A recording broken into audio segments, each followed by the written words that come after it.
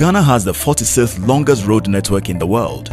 Safer roads add to the socio-economic development of Ghana. Road signs are placed in specific areas to ensure the safety of drivers and other road users. It is due to this that the design, positioning and specification of these road signs cannot be overemphasized and the Ministry of Roads and Highways will find it very important to hand over such a delicate job to a reputable firm as FACOL. Currently, FACOL is the major road safety company in Ghana who produce major or much of the road signage in accordance with the Ghana Highway Authority. I walked into the offices of State Construction Corporation, uh, then at Circle. In the reception area for the MD, I opened the brochure and I saw cat's eyes. When I got opportunity to see the SAC managing director, I inquired why it was that there were no cat's eyes on the roads in Ghana.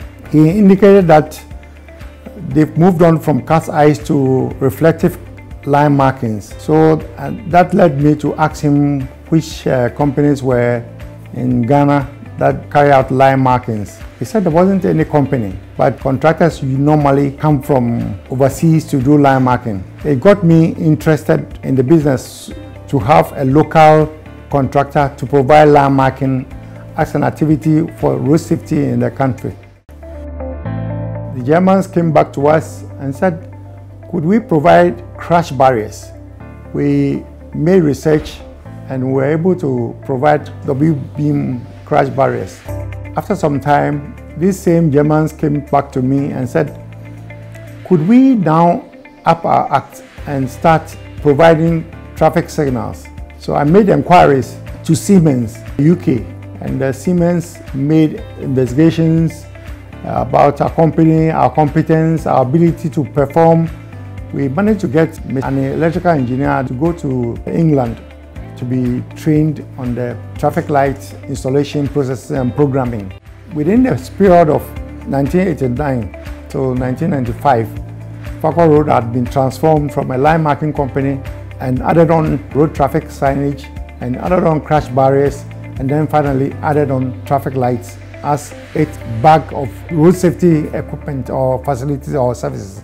From the purchase of a small line marking machine to accomplishing great feats, the future of FACOL gets brighter with expansion strategies, which began with purchasing equipment.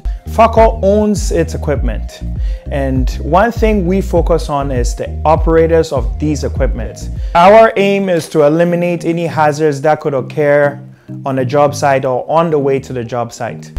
Having the wrong person behind the right equipment can be a failure to the company. So our efforts go into selecting the right people to operate the right equipment.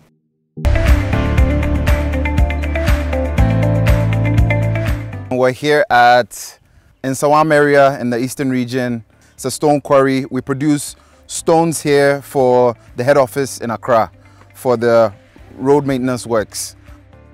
Our main products that we produce from here are products ranging from quarry dust, quarry waste, 040, 5 to 10 millimeter. We have your 12 millimeter. We have your 14 millimeter, 20 millimeter, 25 millimeter, 30 millimeter, as well as 40 millimeter. One thing that comes to mind when people are being briefed about a quarry for the first time is whether it is that we're into good business practices. What we definitely are, and some of the, the ways we ensure this is by getting all our permits together. So Environmental Protection Agency permits, to fire service licenses, to mineral commission permits, uh, explosive permits, transportation permits, to municipal assembly licensing and all that. DOCAF is uh, 15 years and FACOL is 30. FACOL is one of our major customers. We wish that FACOL gets more projects and buy more of our products in the future.